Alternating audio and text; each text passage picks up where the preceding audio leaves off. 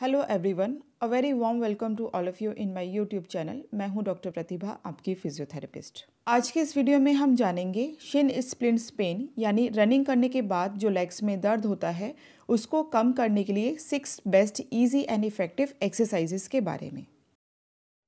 इस कंडीशन से related already मैं पहले भी एक वीडियो बना चुकी हूँ, जिसे आप लोगों ने काफ़ी पसंद किया है। इसमें अच्छे से एक्सप्लेन किया है कि पैरों में ये परेशानी शुरू होने के क्या कारण होते हैं, इसके क्या क्या रिस्क फैक्टर्स होते हैं और इसी के साथ ट्रीटमेंट में सेल्फ केयर मेजर्स और प्रिवेंटिव मेजर्स के बारे में भी बताया गया है। आप इस वीडियो को ऊपर आ रहे आई बटन पर क्लिक करके देख सकते हैं। वीडियो शुरू करने से पहले अगर आपने अभी तक ये चैनल सब्सक्राइब नहीं किया है तो चैनल को ज़रूर सब्सक्राइब कर लें और साथ ही बेल आइकन को भी क्लिक कर लें ताकि हर लेटेस्ट वीडियो की नोटिफिकेशन आपको मिलती रहे।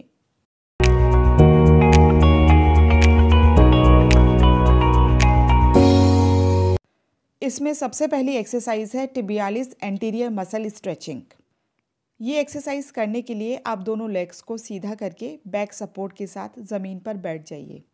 इसके बाद दोनों पैर के पंजों को पूरा नीचे की तरफ़ लेकर जाइए। नीचे करने पर शिन एरिया जहाँ पर इस कंडीशन में यूजुअली दर्द होता है, वहाँ आपको स्ट्रेच फील होगा।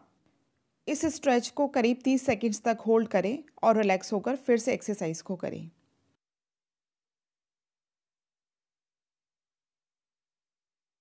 ये एक सिंपल सी एक्सरसाइज है, जिसे करने पर बहुत सारे रनर्स और एथलीट्स को आराम मिल जाता है।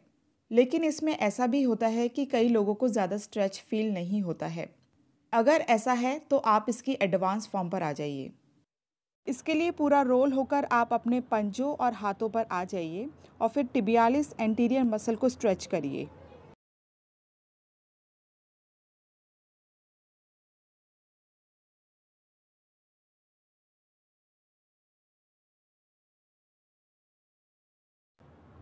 इसमें और भी अच्छा स्ट्रेच लाने के लिए आप इस तरह से भी नीज़ को फोल्ड करके बैठ सकते हैं। इसमें टो नेल फ्लोर से टच होना चाहिए।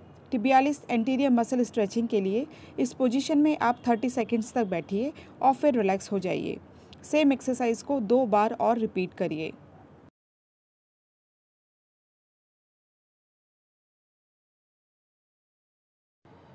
अब आते हैं सेकेंड एक्सरसाइज पर जो है काफ स्ट्रेचिंग ये एक्सरसाइज करने के लिए आप टावल को रोल करके अपने पंजे पर इस तरह से लगा लीजिए।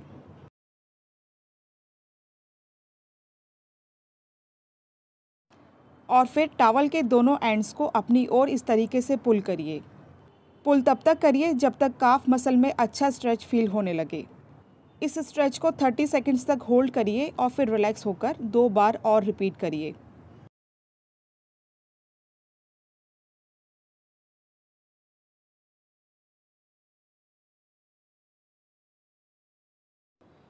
ये दो स्ट्रेचिंग एक्सरसाइजेस करने पर कुछ दिन बाद जब दर्द में थोड़ा आराम आ जाए तो आप फिर स्ट्रेंथनिंग एक्सरसाइजेस करना शुरू करें। इसके लिए आप एक थेराबैंड लीजिए। ये एक टाइप का लास्टिक बैंड होता है जो रेजिस्टेंस देता है। एक्सरसाइज करने के लिए इसके एक एंड पर एक लूप बनाकर पैर के पंजे में इस तरह से फंसा लीजिए।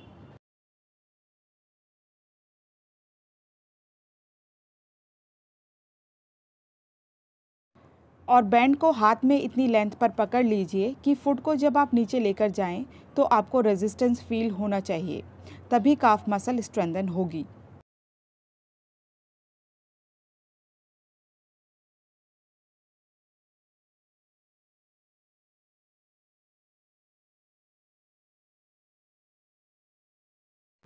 ये एक्सरसाइज करने में एक बात का ध्यान रखें कि फुट कंट्रोल्ड वे में मूव होना चाहिए। अगर फुट इधर उधर विगल होता है तो थेराबैंड की थोड़ी लेंथ बढ़ाकर रेजिस्टेंस कम कर लें और फिर स्मूथ वे में एक्सरसाइज को करें। इस एक्सरसाइज को आप एक बारी में 20 से 25 बार रिपीट करिए और दिन में दो बार करिए।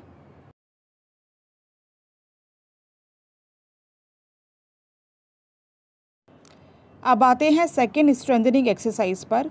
इसमें आपको टो वॉक और हील वॉक करना है। ये एक्सरसाइज भी काफ़ी इफ़ेक्टिव एक्सरसाइज है शीन पेन को कम करने के लिए। इसमें अगर आप अपने रूम में ही एक बारी में 20 से 25 बार चक्कर लगा लेते हैं तो इतना काफ़ी है।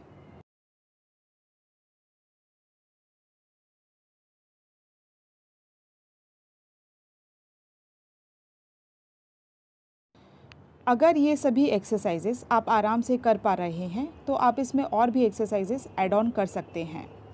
जैसे टो ड्रैग इसमें आप अपनी टो को फ्लोर से ड्रैग करते हुए आगे लेकर आइए।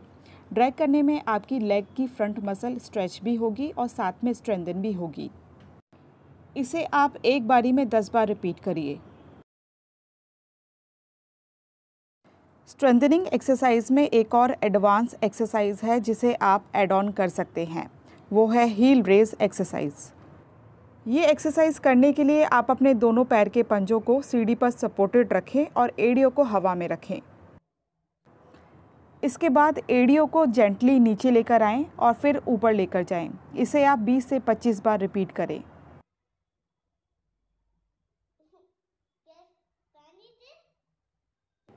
इस एक्सरसाइज को आप धीरे धीरे ही करें और कंट्रोल्ड मूवमेंट के साथ ही करें। इसमें बैलेंस को मेंटेन करने के लिए आप रेलिंग को अच्छे से पकड़ कर रखें।